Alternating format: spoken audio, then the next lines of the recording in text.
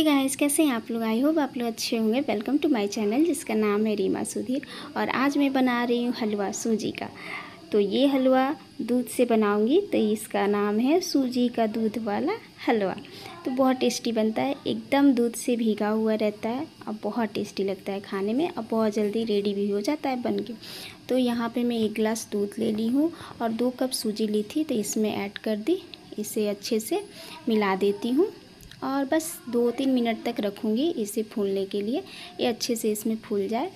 और उसके बाद फिर एक चम्मच कढ़ाई इधर रख दी हूँ और यहाँ पे एक चम्मच घी डाल दी।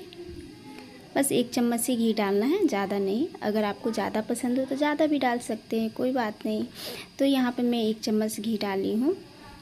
और उसके बाद से जो सूजी दूध भिगो कर रखी थी, उसको इसमें ऐड कर दूँगी। तो आँच को एकदम कम रखना है। तो कुछ इस तरीके से ये हो गया है।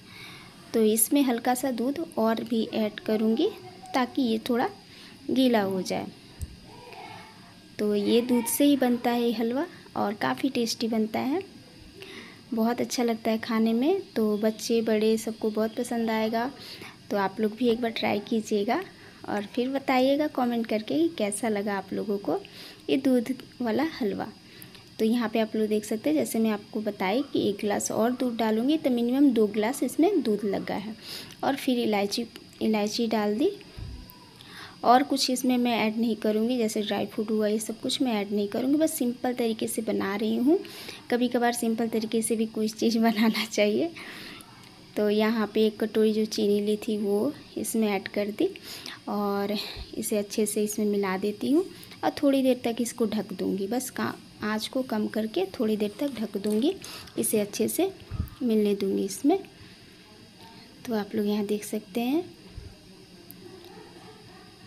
ये बहुत टेस्टी बनता है। तो यहाँ पे आप लोग देख सकते हैं, ये चीनी जो है इसमें मिल गया है। और बस हलवा बन के रेडी है। ये हलवा ऐसे ही बनता है। ये गोल्डन ब्राउन नहीं रहता है, ये हलवा ऐसे ही बनता है। तो आप लोग भी एक बार ट्राई कीजिएगा, बहुत अच्छा लगेगा खाने में। तो लीजिए गर्मा गर्म हलवा बन के रेडी हो गया। तो ये रेसिपी आप लोग को कैसा लगा, आप लोग ज़रूर बताइएगा। वीडियो पसंद आए तो लाइक कमेंट शेयर जो लोग मेरे चैनल पर नए आ रहे हैं प्लीज़ आप लोग मेरे चैनल को सब्सक्राइब कीजिए। और फिर ऐसी अच्छी अच्छी रेसिपी अच्छी अच्छी ब्लॉग में लाऊँगी। तो फिर मिलती हूँ एक नए ब्लॉग के साथ। तो बाय बाय